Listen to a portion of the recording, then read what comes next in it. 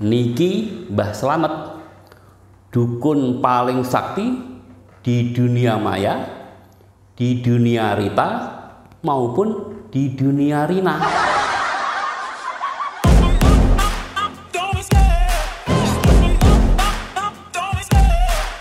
Bismillah. Assalamualaikum warahmatullahi wabarakatuh. Piye kabari? Masih enak zamanku tak? Para pemirsa semuanya, semoga senantiasa sehat dan berkah. Amin. Jangan lupa like, komen, dan subscribe-nya. Mbah Slamet ini dukun paling sakti, sakti mandraguna. Karena Mbah Slamet bergurunya di Betawi. Kalau bergurunya di Jawa Barat namanya Asep Guna. Kalau bergurunya di Jawa namanya Parto Guna. Kalau sakit terus-terusan katanya diguna-guna. Mbah kalau praktek perdukunan nggak pakai trik kayak si Samsudin itu. Karena trik itu permainan anak kecil, anak SD, anak TK. Nah kan ada lagunya. Trik, trik, trik, bunyi hujan di atas genting. Mbah kalau praktek perdukunan juga nggak pakai ilmu sulap kayak si merah itu. Karena Mbah nggak bisa ngejar. Sulap itu larinya kenceng. Sulap itu apa Mbah? Sulap itu asu balap. Asu itu anjing. Jadi artinya apa? Anjing balap.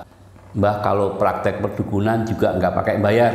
Kayak si Samsudin itu 5 juta, 10 juta, 15 juta. Mbah cukup nyumbang saja seikhlasnya. Yang penting Mbah bisa beli rumah, bisa beli mobil, bisa umroh, bisa haji, cukup. Ini salah satu cincin kesaktiannya Mbah Slamet. Cincin ini namanya Kinaga Bonar. Kalau Mbah Slamet pakai cincin ini, jalan di tempat yang gelap nggak akan terlihat. Mbah Slamet juga punya ilmu menerawang, ilmu terawangan, menerawang ruang angkasa. Dalam terawangannya Mbah, kalau misalnya hari ini hari Senin, insya Allah Mbah pastikan besok pasti hari Selasa. Mbah juga bisa meramal masalah perjodohan. Kalau para pemirsa itu misalnya seorang wanita, Mbah pastikan pasti jodohnya pria atau laki-laki. Loh Mbah, itu kan ada pernikahan sejenis pernikahan itu harus sejenis. Manusia dengan manusia itu sejenis. Jangan manusia dengan kambing, itu beda jenis. Maksudnya mbak, laki-laki dengan laki-laki. Loh, laki-laki sama laki-laki kok nikah? Emang mau main pedang-pedangan? Mbak juga bisa meramal pangkat dan jabatan. Kalau pemirsa misalnya seorang perwira menengah polisi, kinerjanya bagus, rajin, tidak macam-macam, Mbah pastikan nantinya akan naik pangkat menjadi jenderal polisi. Nggak mungkin jadi jenderal TNI. Mbah, katanya kalau pergi ke dukun jadi sirik ya Mbah? Betul. Pemirsa semuanya kalau sampai percaya sama dukun nanti sholatnya 40 hari 40 malam nggak diterima mendingan pergi ke orang pinter di mana tuh orang pinter di sekolah di sekolah. Bapak dan ibu guru itu adalah orang pinter. Buktinya banyak yang nanya pak guru yang ini apa namanya?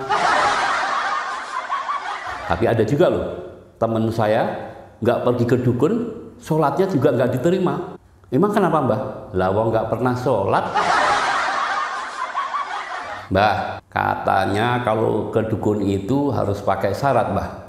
Ada yang minta segenggam tanah dari kuburan. kalau Mbah Slamet nggak perlu syaratnya bawa segenggam tanah dari kuburan.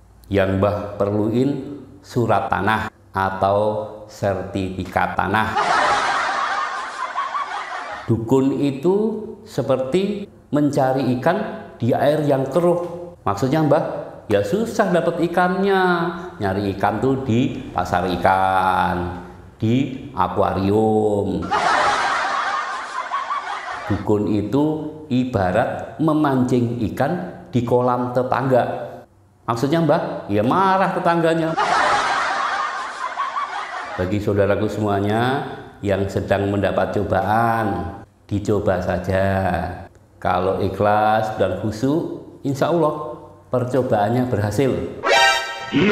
Bagi yang sedang mendapat ujian, ya dijawab saja, diisi aja. Kalau ikhlas dan khusyuk, insya Allah ujiannya lulus.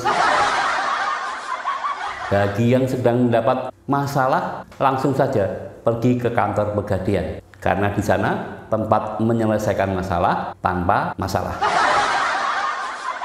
yang sedang mendapat persoalan, cari kunci jawabannya. Jangan mencari kunci mobil dan motor di rumah tetangga. Itu namanya maling, malah mendapat persoalan.